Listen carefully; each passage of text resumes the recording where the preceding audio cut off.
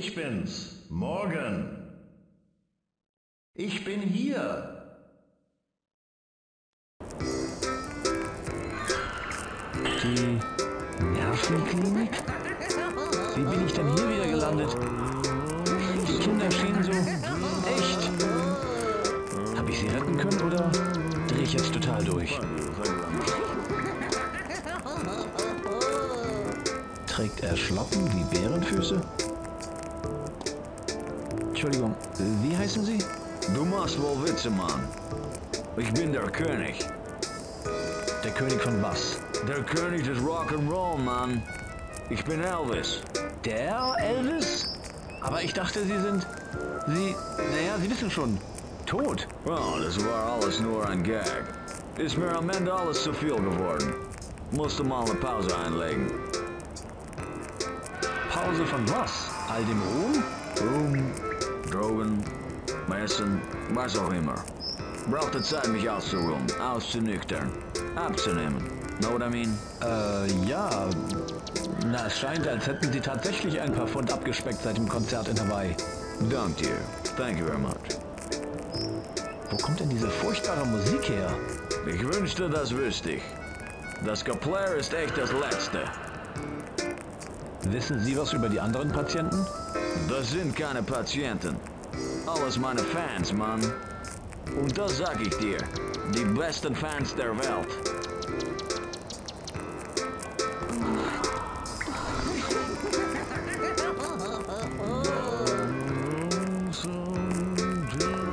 Fesches Röckchen, Alter. Entschuldigung, wie ist Ihr Name? Kommt nur diese furchtbare Musik her? Keine Ahnung, Q-Tip. Q-Tip? Ja, deine Wattebälle sieht aus wie die Dinger, die ich mir morgens ins Öhrchen stecke. Wissen Sie etwas über die anderen Patienten? Wissen Sie was über die anderen Patienten? Sehr witzig, Alter. Sehr witzig, Alter. Puh, das stinkt hier unten. Interessant. Der sieht aus, als ob er mich fressen will. Entschuldigung, wie heißen Sie? Stan Dombrovsk, vergiss es besser nicht. Wo bin ich? Im Hof. Ich bin doch nicht verrückt. Ich sollte nicht hier sein. Halt die Fresse. Sonst zack, zack. Wo kommt denn diese furchtbare Musik her? Der Doc macht irgendwelche komischen Tests auf der Beobachtungsstation. Was denn für Tests? Woher soll ich denn das wissen, du Made? Ich weiß, dass das irre klingt, aber ich war gerade noch in dieser seltsamen Kleinstadt, in der eine Riesenpflanze die Erwachsenen gekillt hatte. Aber nicht die Kinder. Ah, halt die Fresse.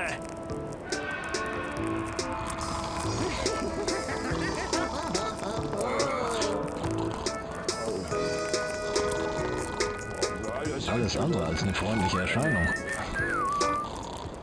Entschuldigung, wie war doch gleich Ihr Name? Warum ist der Spinner nur immer so viel labern? Herrgott, nochmal, ich bin Hector. Hector Vasquez. Und jetzt verpiss dich, du Mumie. Wo, wo bin ich? Was glaubst denn du? Im Irrenhaus, du Doofnuss. Warum ist mein Kopf so bandagiert? Weil du so eine verdammt hässliche Krähe bist, Alter. okay, ich will ehrlich sein. Als die kleinen grünen Männchen kamen, um... Schon gut. Können Sie sich sparen. Ich bin doch nicht verrückt. Ich sollte echt nicht hier sein. Vergiss es, Riek. So Gelaber lässt mich völlig kalt. Wo kommt denn diese furchtbare Katzenmusik her? Was denn? Siehst du etwa nicht das Orchester mit all den rosa Elefanten? Scherzkeks. Hm, hast wohl deinen Sinn für Humor verloren, als dein Hinterstübchen durcheinander geraten ist. Ich weiß ja, dass das verrückt klingt, aber ich war gerade in dieser seltsamen kleinen Stadt, wo eine riesige Pflanze alle Erwachsenen umgebracht hat. Aber nicht die Kinder. Na, ist doch klasse. Und warum gehst du da nicht dahin zurück?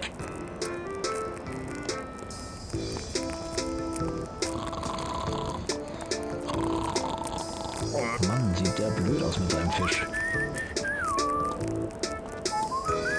Entschuldigung, wie ist Ihr Name?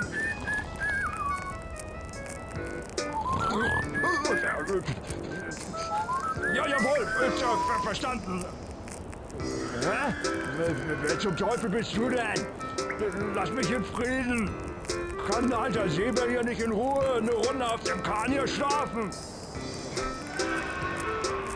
Wo kommt diese furchtbare Musik her? Hä? Ruhe an Bord! Muss schließlich meinen Rausch aus dem Hafen ausschlafen.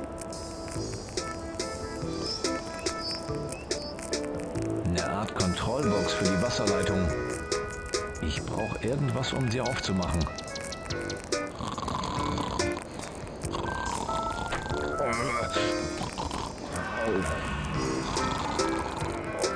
Eine Platte.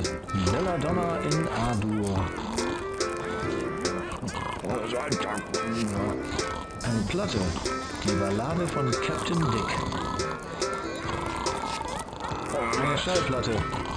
Rockabilly Swing Ding. Ist das ein Arzt? Was schreibt er nur? Hallo? Sie müssen Dr. Morgan sein. Hm? Oh, und wir hatten schon gedacht, wir hätten Sie im Feuer verloren, Max. Wo haben Sie nur gesteckt? Ich. Ich war für ein Weilchen irgendwo anders. Ja, gut, dass Sie jetzt in Sicherheit sind, Max, aber scheinbar geraten Sie immer in Schwierigkeiten, wenn Sie sich absetzen. Ich habe Ihnen schon mal gesagt, dass Sie die Kontrolle behalten müssen, wenn Sie gesund werden wollen. Dass ich woanders war, habe ich mir nicht eingebildet, Dr. Morgan. Ich war tatsächlich weg. In einer kleinen Stadt. Mit Kindern, die waren echt. Die. Okay, Max, jetzt regen Sie sich nicht gleich auf, sonst muss ich Sie festschnallen lassen. Aber das wird doch wohl nicht nötig sein, oder? Nein, ist in Ordnung. Ich will ja wieder gesund werden, Doktor, aber mir gehen so viele seltsame Sachen durch den Kopf. Ähm, Offene Fragen. Neugierde ist eine gute Sache, Max, und ich wünschte, ich hätte all die Antworten. Vielleicht könnten wir uns ja später nochmal unterhalten, wenn ich hier fertig bin. Was für ein Feuer? Was ist denn passiert? Der Generator ist in die Luft geflogen. Ach, Furchtbar, dass so viele oben im Turm waren und wir nicht alle retten konnten. Die anderen? Wovon reden Sie? Verstehen Sie denn nicht, Max? Das Feuer hat die ganzen Zellen im Turm zerstört, mit allen Insassen. Sie haben Glück am Leben zu sein. Keinen scheint das groß zu stören.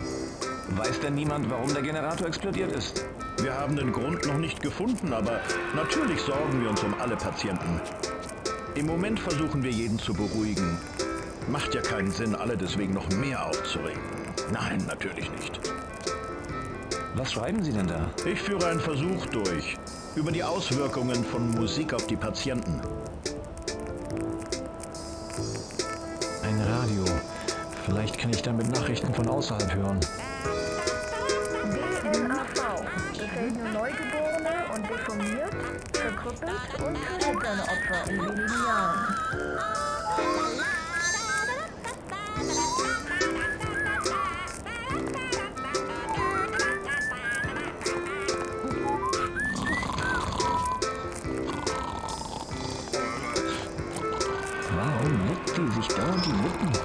Vergleich zu ihr bin ich der normalste Mensch der Welt. Verzeihung, wie war Ihr Name? Mein Name ist Vera, klingt so nett, hat mein Ehemann verspeist wie Karotten und Mett. Wo kommt diese entsetzliche Musik her? Ich mag die Musik, hat einen tollen Rhythmus, wo man mit muss. Wissen Sie etwas über die anderen Patienten? Wären alle gut zu ertragen in meinem Magen. Was meinen Sie denn damit? Hack sie schon klein, dann wirft sie rein in den Topf schwerer Kopf. Aha, okay. Na, bis später dann. Was der wohl denkt?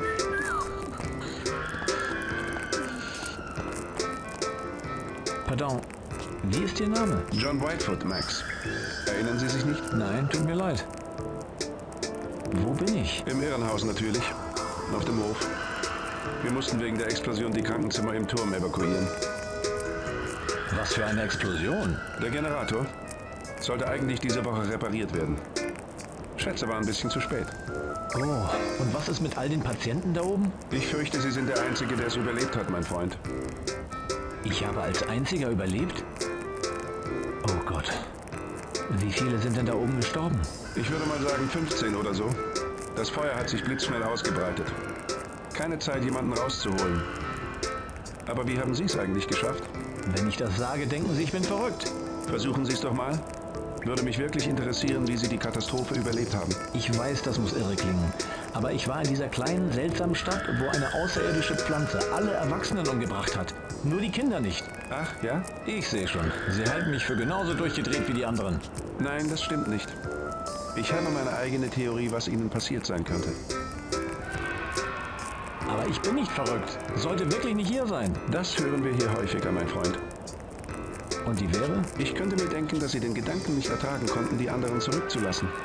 Und daher hat Ihr Verstand Ihnen eine Welt vorgegaukelt, in der Sie sich so lange verstecken konnten, bis es sicher war, zurückzukommen. Die Stadt repräsentierte den Turm. Die Kinder waren die Patienten. Und die fehlenden Erwachsenen waren die Ärzte und alle anderen, die nicht hier waren, um zu helfen. Vielleicht haben Sie recht. Aber es schien alles so real. Ihr Verstand ist zu den unglaublichsten Dingen in der Lage, Max. In Ihrem Kopf war alles real. Wo kommt denn diese entsetzliche Musik her? Dr. Morgan testet gerade ein paar Theorien, wie Musik Patienten beeinflusst.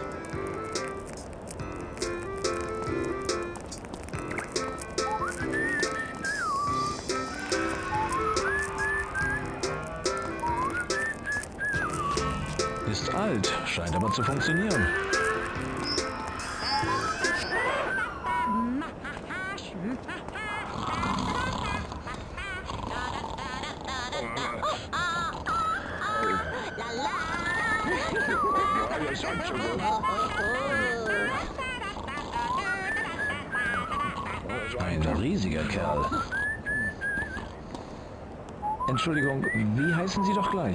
Tja, Max, ich heiße so, wie ich auch gestern geheißen habe und vorgestern.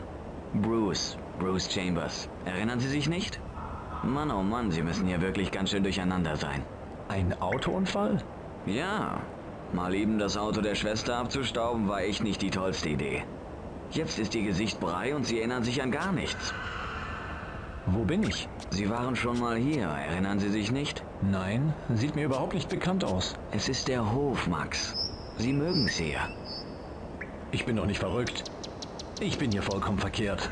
Jetzt beruhigen Sie sich mal, Max. Schön ruhig. Aber ich bin doch nicht verrückt. Natürlich nicht, Max. Natürlich nicht. Ich weiß ja, dass es irre klingt, aber ich war in dieser kleinen Stadt, wo diese riesige außerirdische Pflanze alle umgebracht hat. Nur nicht die Kinder. Stimmt genau. Heißt das, dass Sie mir glauben? Oh nein. Ich meine, das klingt tatsächlich ziemlich irre. Jetzt nehmen Sie mal Ihre Pille.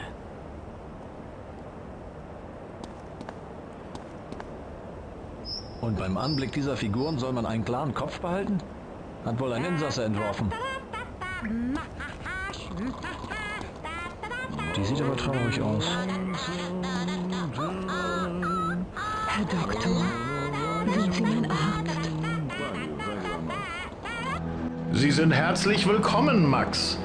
Ich habe bereits ein Team von Top-Wissenschaftlern bei Mercy, aber ich bin besonders froh, dass Sie mein Angebot angenommen haben, Dr. Lawton.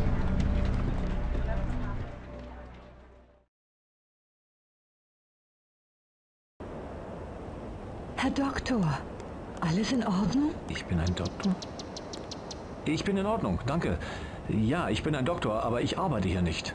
Oh, ich hatte gehofft, Sie sind der neue Arzt. Seitdem mein Freund nicht mehr mit mir redet, bin ich so einsam. Ich brauche jemanden, der ihn heilt, damit er wieder mit mir reden kann. Wer ist Ihr Freund? Craig, Und was stimmt nicht mit ihm? Hat er eine Rachenentzündung? ich. ich weiß nicht. Vielleicht. Alles, was ich weiß, ist, dass er mich schon lange nicht besucht und schon lange nicht mit mir geredet hat. Ist Craig weggegangen? Vielleicht haben Sie ihn aus der Klinik entlassen und Ihnen nur nichts davon gesagt. Nein, er war ja kein Patient hier, sondern er hat mich nur ab und zu an sonnigen Tagen am Springbrunnen besucht. Warum sind Sie so einsam? Ich meine, es gibt auch so viele andere Leute hier, mit denen Sie reden können. Die mag ich aber nicht. Die sind alle irre. Craig war anders. Groß, dunkel, gut aussehend. Er fand, ich sei hübsch. Ich wette auch, dass Sie sehr hübsch sind unter der schweren Kapuze. Warum verstecken Sie nur Ihr Gesicht? Seit Craig mich nicht mehr besucht, mag ich mein hässliches Gesicht niemandem mehr zeigen. Jetzt hören Sie aber auf. Sie sind doch nicht hässlich. Sie sind nur höflich. Aber mich täuschen sie nicht. Wohin führen diese schweren Türen? Klingt, als ob jemand drinnen ist. Prediger Bob hält seine Messe. Ich wollte selbst auch in die Kapelle, aber die Tore klemmen. Ich krieg sie nicht auf. Aber wie ist denn der Prediger reingekommen, wenn die Türen klemmen? Der hatte wahrscheinlich Hilfe von seinem Hiwi Norm.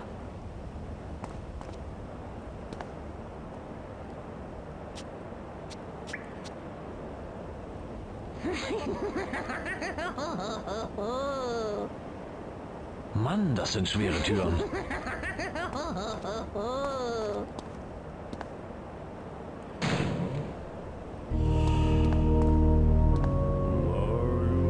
sind ja nur Puppen. Warum haben die seine Hände an die Füße gekettet? Verzeihung, wie heißen Sie? Ich bin der heilige Norman aus dem Orden Bobs. Dem Orden Bobs. Was für eine Religion ist das denn? Die Wahrheit. Bobs Wort ist die Wahrheit. Er verkörpert Ohren und Augen des Herrn. Oh, glorreicher und heiliger Bob. Bob ist der größte von allen Bobs. Halleluja! Lobet den Bob! Der Prediger scheint sich sehr für die Sünde des Stehlens zu interessieren. Ist irgendetwas Besonderes passiert? Oh, höchst erbärmlich und abscheuliche Dinge sind in unserem ehrwürdigen Gotteshaus geschehen. Eine kranke Seele hat das größte unserer Heiligtümer aus dem Hause Bobs mitgehen lassen. Danke, dass Sie mich da aufgeklärt haben. Der Prediger scheint ja ganz schön sauer zu sein. Ist er immer so? Nein, aber ein übler Sünder hat etwas sehr Wertvolles aus dem Hause Bob gestohlen. Und daher sind wir sehr vorsichtig bei allen, die uns hier besuchen. Tritt zurück, Bruder. Aber ich will doch nur mit dem Prediger reden. Dann aber bitte von da aus. Exzentrischer Typ. Entschuldigung, wie heißen Sie gleich? Mein Name, siehst du, Bruder Norman, dieses verlorene Schaf ist auf der Suche nach der Wahrheit. Auf der Suche nach der Wahrheit, Prediger. Amen, Norman. Ich habe viele Namen, mein Sohn, aber du kannst mich Prediger Bob nennen. Sie scheinen eine sehr äh, energische Meinung zum Thema Stehlen zu haben. Wie kommt das? Oh, die Schlechten sind unter uns, mein Freund. Sie verbreiten üble Ideen und mangelnde Moral wie eine Pest. Und jetzt haben Sünder sogar die Ordnung im Haus des Herrn entweiht. Entweiht? Wie denn das? Oh, gemeine Diebe haben sich ins Haus des Herrn geschlichen und Furchtbares getan. Ihre teuflischen Hände haben sie ausgestreckt und das heiligste aller Heiligtümer gestohlen. Wo sind wir nur hingekommen, wenn Satans Werk selbst vor Bobs Gotteshaus nicht mehr zurückschreckt? Höre ich ein Amen? Danke, Norman. Wie sieht dieses Heiligtum denn aus? Vielleicht sehe ich es ja irgendwo. Sie haben das heilige Kirchenkreuz gestohlen, mein Sohn. Güldener Inbegriff der Worte des Allmächtigen. Ihre Gemeindemitglieder sehen äh, ein bisschen hölzern aus. Das verlorene Schaf erkennt die Herde nicht, Bruder Norman. Öffnet seine Augen, Vater. Ja, Amen. Die Herde meiner Schafe ist etwas ganz Besonderes, mein Sohn. Im Moment sitzen sie so konzentriert beim Gebiet, dass man fast glauben könnte, sie seien aus Holz. Aber in Wahrheit sind sie so sehr aus Fleisch und Blut wie du und ich. Okay, wenn Sie meinen.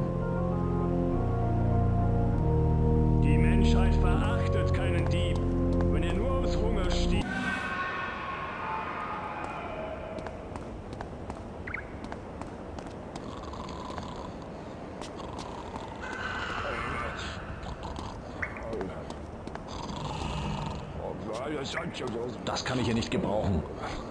Das wird auf keinen Fall passieren. Eine Platz.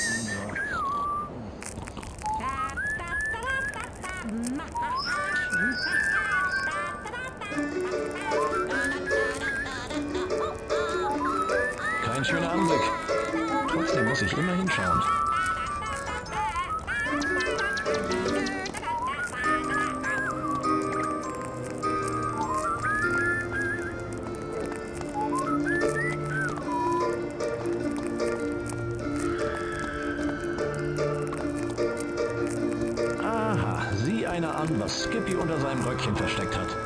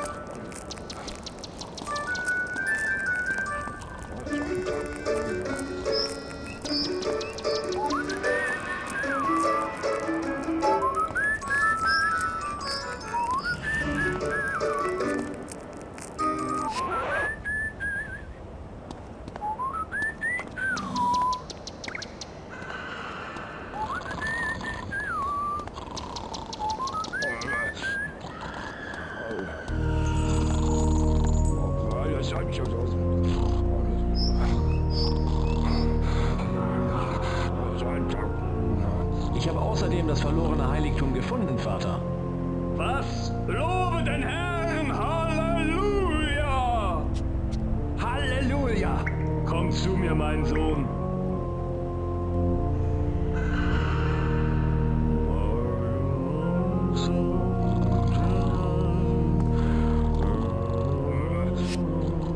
Für all deine guten Taten in diesen schlechten Zeiten ernenne ich dich hiermit zum heiligen Max im Hause Bob.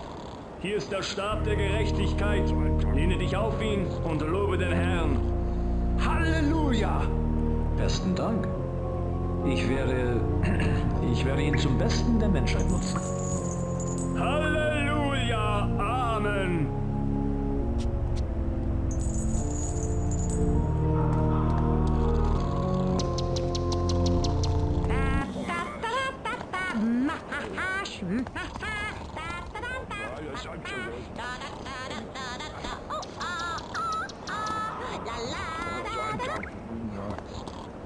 Eine Art Kontrollbox für die Wasserleitung.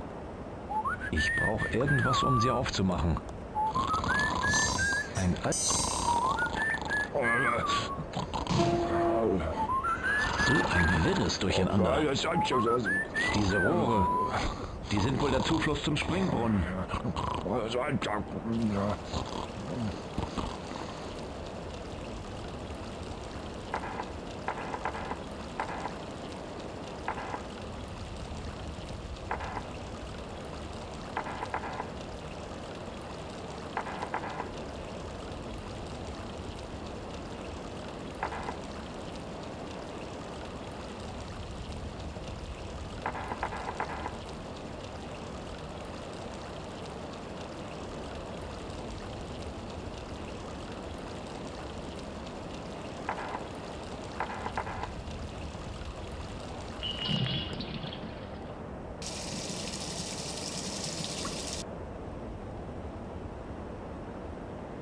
Sieht viel schöner aus, wenn Wasser drin ist.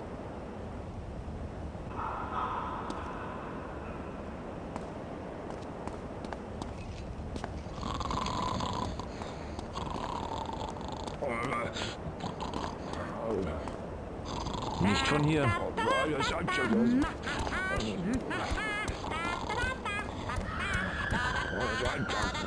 Ich habe den Springbrunnen repariert, Christel. Ist Ihr Freund wieder aufgetaucht? Oh ja, Und ich bin so glücklich. Sehen Sie ihn nicht? Ist er nicht großartig? Das Bild bewegt sich. Oh, mir schwindlig. Mein Geist war so ausgetrocknet. Ich kenne Sie nicht, Sir, aber ich danke Ihnen. Was ist Ihr größter Wunsch? Ich. Ich wünsche, ich könnte meine Schwester wiedersehen. Max? Sarah möchte dich jetzt sehen.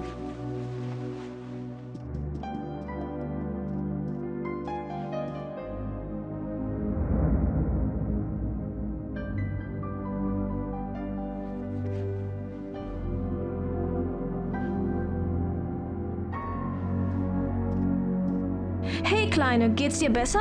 Ich glaube nicht, dass ich dieses Jahr in den Zirkus gehen kann. Dann gehen wir nächstes Jahr. Kannst du mir einen Gefallen tun, Max? Dolly, die Puppe, die Papa letztes Jahr für mich beim Jahrmarkt gewonnen hat, ähm, beim Zirkus, äh, Mr. Clown, kannst du mir die von der Spielzeugkiste holen? Oh ja, klar. Sind die? Wo sind die? Ich kann sie nicht finden, Sarah. Wirklich nicht. Ich kann sie nicht finden. Ich kann sie nicht finden.